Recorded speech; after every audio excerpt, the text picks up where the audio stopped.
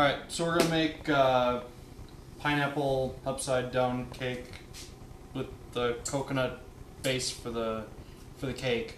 Um, so I've got here is two cups of flour, about a half cup of sugar, um, tablespoon of baking powder, a half teaspoon of cinnamon, a half cup of uh, pineapple juice, and a cup and a half of coconut juice or coconut milk. Um, and then our pineapple. It's from a can, so it's all sliced up and ready for us to use.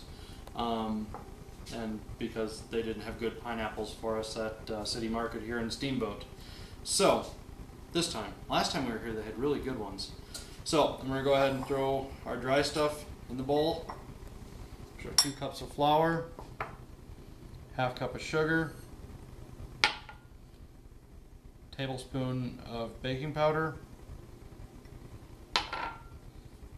half teaspoon of cinnamon. We'll kind of give that a little stir here and try not to throw stuff all over like I did before.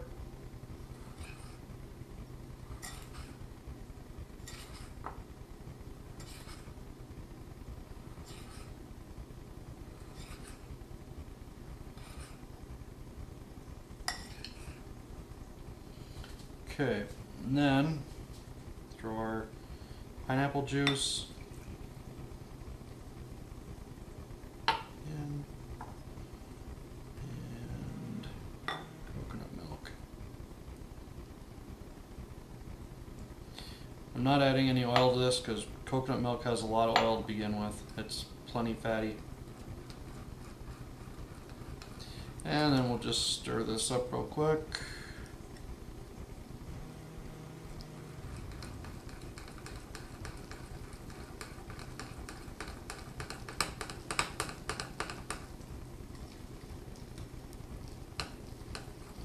And this isn't really a recipe, it's just something I thought up today. It was like, well, we use up some stuff and uh, some stuff that we had bought from, uh, from the day we the day we got into town and uh, still had left over. So figured I'd use up the flour, use up some of this other stuff, and uh, make a treat.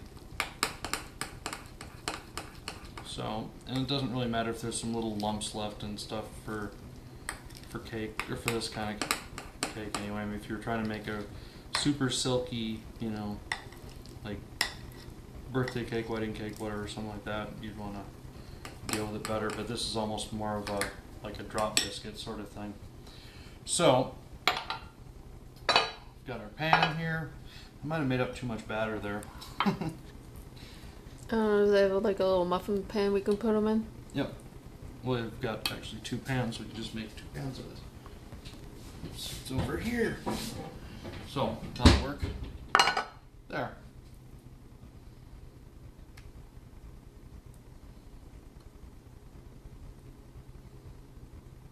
Actually, I better not.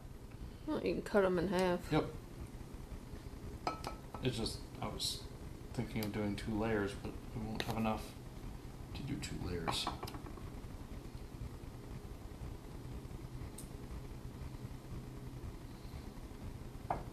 So there.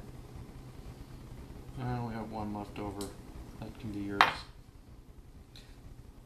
So, we'll take this.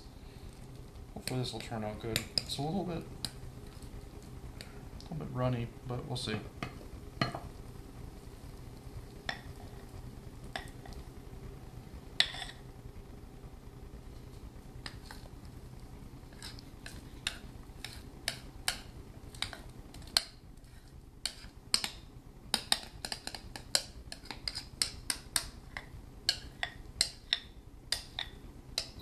There's some not stirred up in there. I'll just scoop it in. Should have tasted it first. Hmm. Um, I think it'll be good.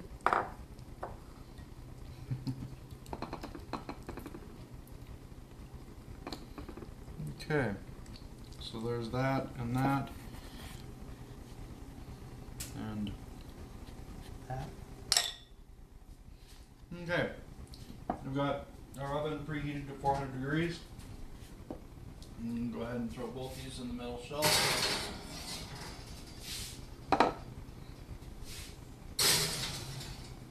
And there we go. So then, probably about a half hour. Again, no, uh, no direct numbers, but should take about a half hour, and uh, we'll check it then and see if it's done. And if it is, well, then we'll.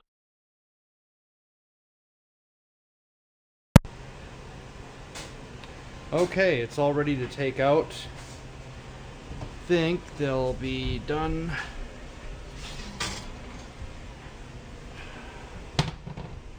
There's one. I have a fork out so we can check this. Didn't have any toothpicks. So, stick it in there and ooh, look at that. It's clean. There's a little bit a little bit of damp on the bottom, but that's probably from the pineapple. So, that's one down. Let's see how this one sits.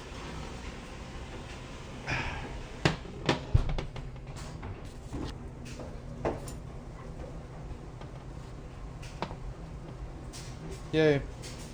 So, there's our two cakes. And that took about five minutes to make and uh, half hour to cook. So, there we are. Bye.